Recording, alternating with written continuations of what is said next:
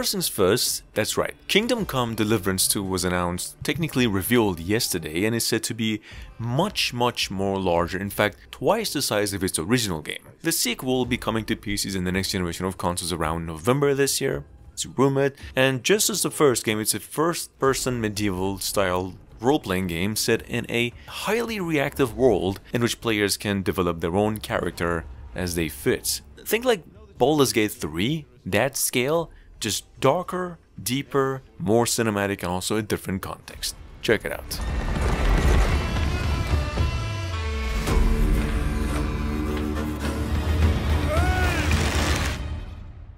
Congratulations, Knight. You finally become a man.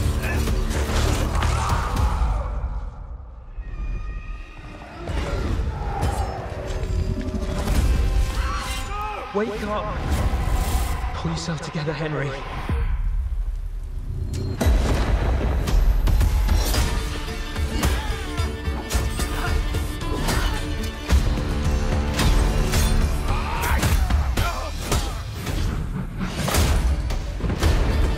Nobody will hand anything on a platter to men like you and me. You still have a long way to go till your work is done.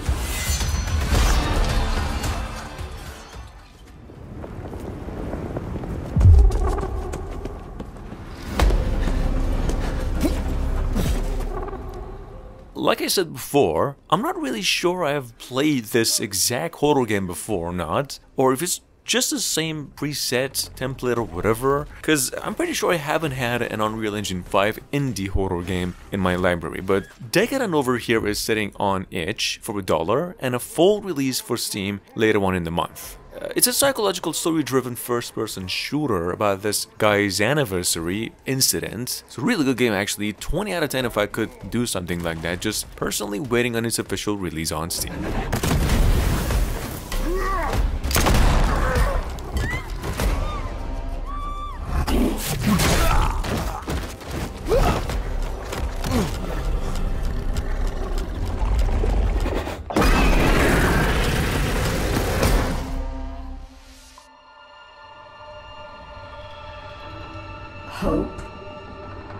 A lie, a trap. It shackles you, weakens you. See guys, one of the SOP studios in charge of a few Blizzard IPs uh, came out today and revealed the making of a new single-player science fiction third-person shooter role-playing game going by the name Astropulse Reincarnation. Now see, the story over here is the key, I guess. As developers said, it traces a billion-year cosmic energy known as Astropulse that has drastically altered Earth's biological evolution as we see today. This game is coming to pieces in the next generation of consoles only early next year.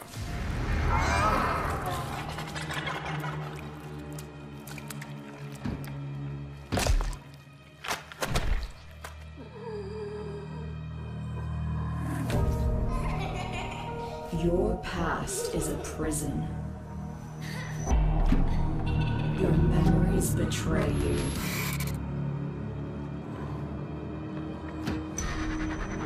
And yet your destiny remains unwritten. I choose you, for you are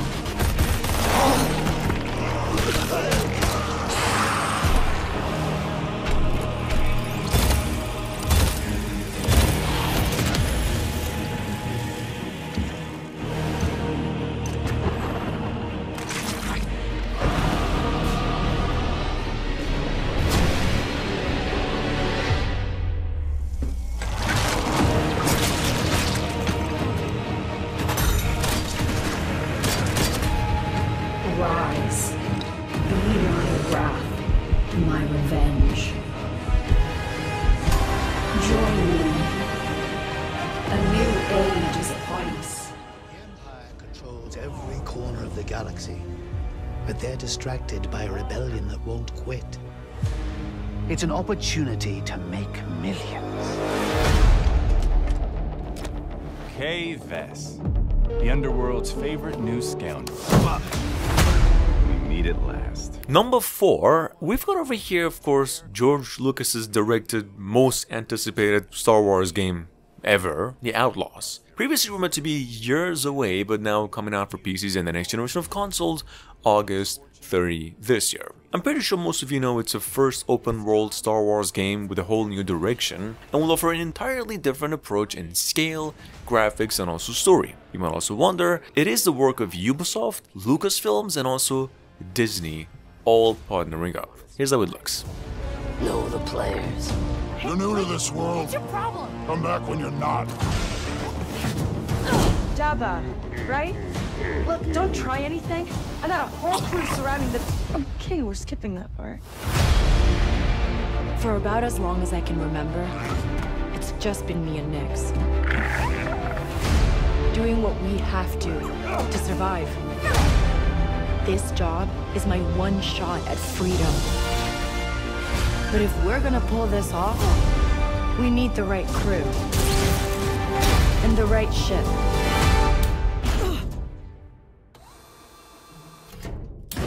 Yes! Hang on. Hi, hi. I'm in the business of secrets, but it's more of an addiction. I like him straight. Nobody Wants to Die, announced no more than a month ago, already amongst the top 5 most anticipated games of the year, is a detective noir game with a cyberpunk setting, which is usually a win-win. You see, the story with this one is set in New York, over 300 years into the future, whereas the technology has advanced enough to allow consciousness to be stored in memory banks or transferred to another body, like the movie Chappie or the Black Mirror series. Anyway, this game is coming to PCs in the next generation of consoles soon. Time does. Time reveals secrets.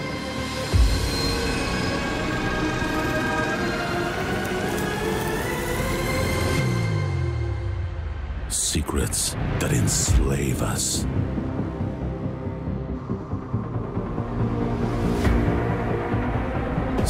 That poison us.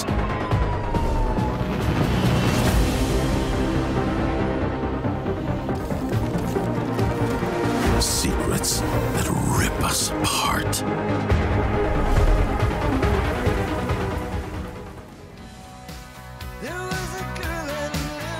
Just a quick reminder over here, Grand Theft Auto 6 is currently scheduled to launch in 2025 on the next generation of consoles including PCs, however Rockstar is yet to give a timeline for it. Uh, we're still waiting on legit gameplay, all we know right now is that the Grand Theft Auto 6 will be much more advanced graphically and of course much bigger in its world. Searching house to house. If they arrest you two, they will take you to their headquarters, and you will not return.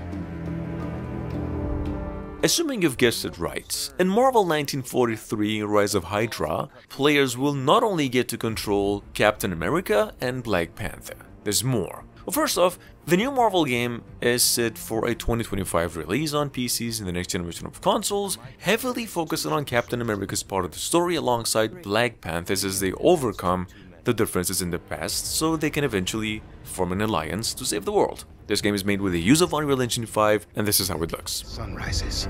Before the Germans, before that American. The Eye of Force has been found. Please, just stick to the rooftops. Be careful, Stan Wasami. When am I not?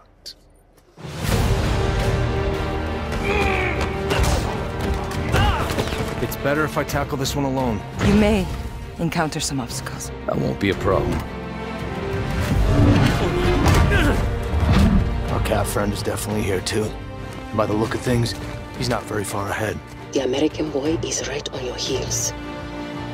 Who the hell are you? If you wanted us dead, we'd be dead. So what do you want? Answers. Stay out of my way! Stand aside! I do not take orders from anyone! I don't have time for this. Neither do I. In my experience, the greatest harm often comes from the best intentions. Number 8, we have a project that basically, our first footage of it, or trailer, goes back to almost 5 years ago. Nothing ever since, until early in the month, we noticed that there's a gameplay for Unknown 9, Awakening. It was amongst the most surprising reveals of the month or the year, and actually seems to be an action-adventure role-playing game like Assassin's Creed's with stealth-based mechanics, but the characters actually got real superpowers. Check it out in case you missed it, it's said to be coming out in the third quarter of 2024.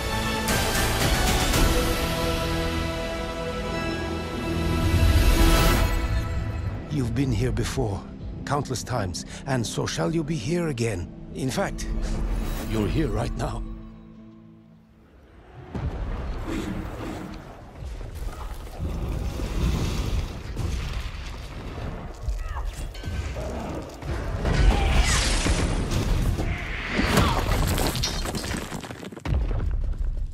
Coming in at number 9, we have Eternal Strands. Debuted only hours ago, Eternal Strands is an action-adventure third-person player inspired by the Monster Hunters. You could probably guess the Shadow of Colossus even, and it's actually the company's first work. Now here's its debut trailer. This game is made with the use of Unreal Engine 5 as well, and set to be coming out of PCs and the next generation of consoles by the end of 2024.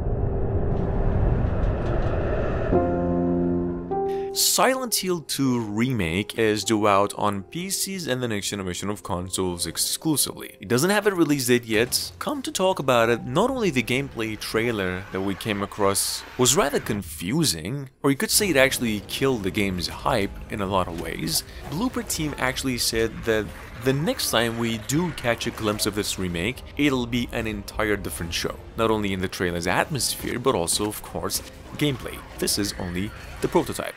Anyway, Silent Hill 2 Remake is at the moment the biggest work of Bloober Team.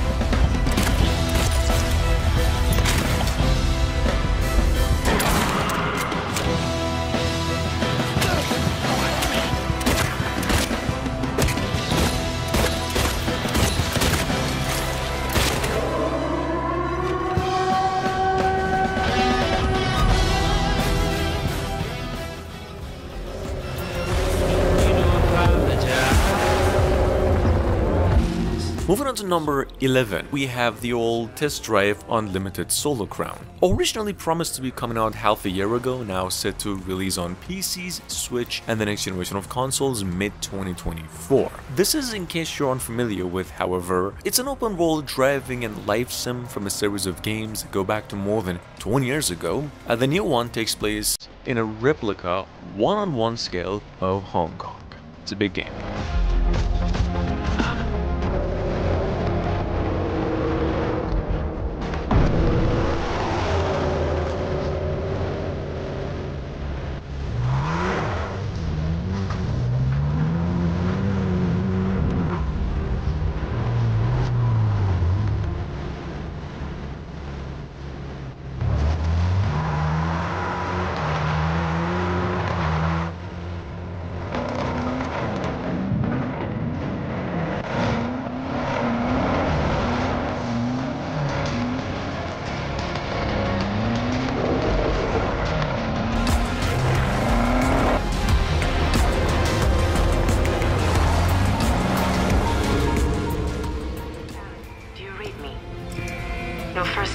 access to Mexico's side plate gate terminal.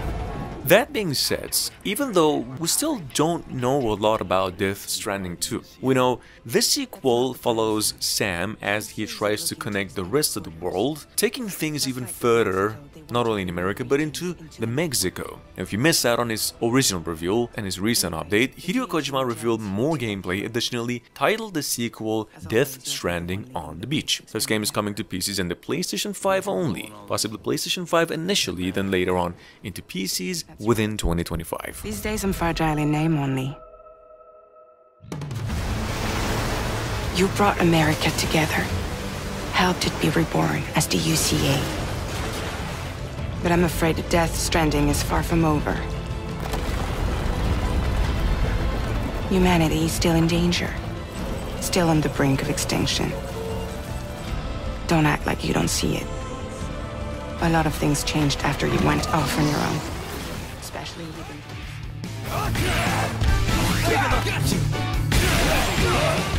In case you missed out on the news, technically speaking, we haven't had a new Fatal Fury in 25 years. Last month, however, SNK dropped the news with a new gameplay trailer that Fatal Fury City of the Wolves is launching in early 2025. The platforms were not announced either, only that the game will be playable at EVO Japan 2024. That is, from April 27 to 29. There's a new character added to the bunch alongside an all-new rev system, an arcade style, and a smart style gameplay, which we'll get into later.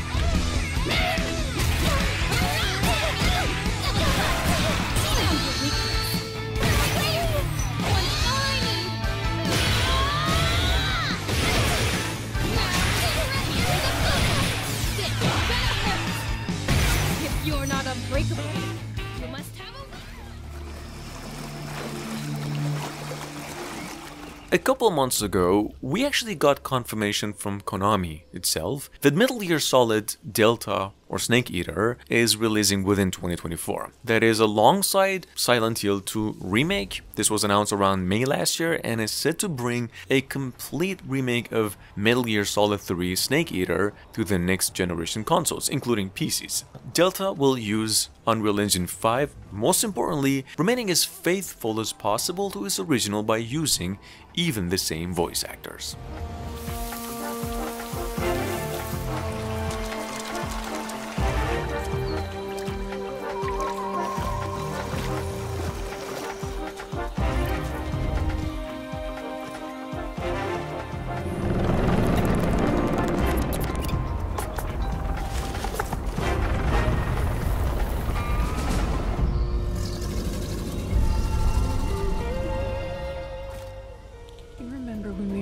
Here?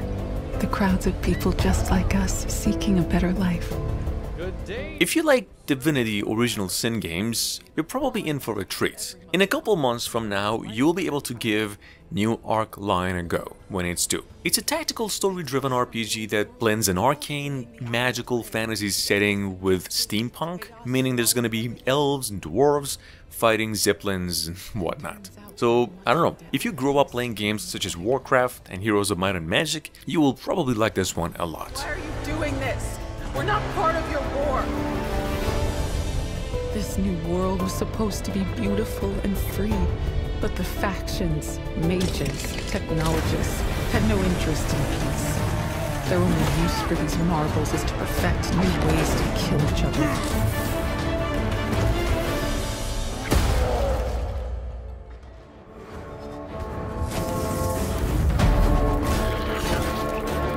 Hordes of Hel, on the other hand, technically Hordes of Hel Jotunnslayer is a roguelike horde-based survival hack and slasher that tells a story of Viking dark magic. Now the game is quite a bit inspired by the Diablo games, not only in look, but also combat, and the fact that it's a PvE. It's a rather wave-based strategy pace to it, and a lot of summoning to fight against Viking gods. Either way, this game is a PC exclusive and coming out possibly around October.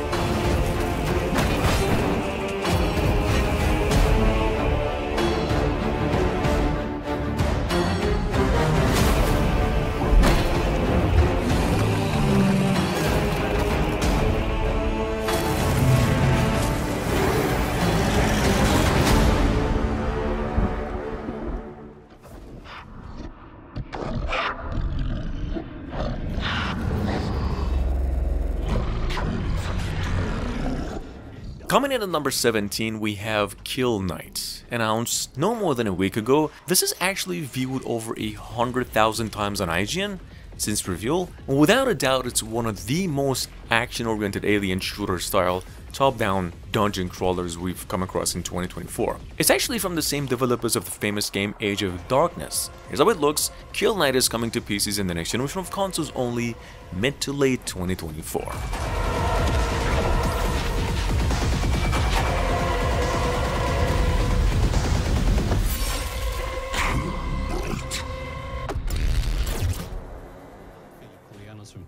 And this is Jump Ship, a mission-based co-op PvE space adventure.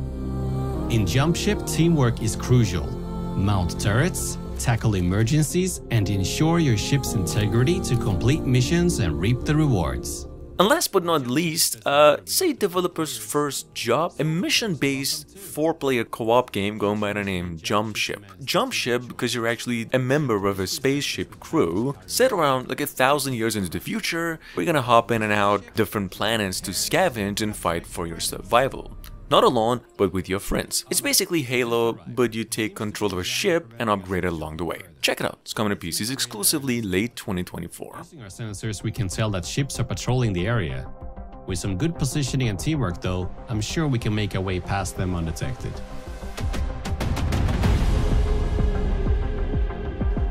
We made it. Time to enter the facility. On foot, it's essential to stay together and use all gear and equipment you've looted to stay alive.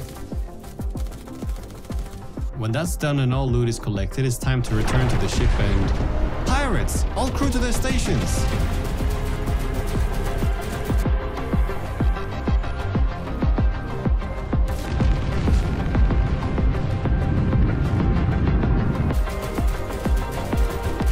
Oof, that was close. Good thing nothing got severely broken. Let's jump to the next sector.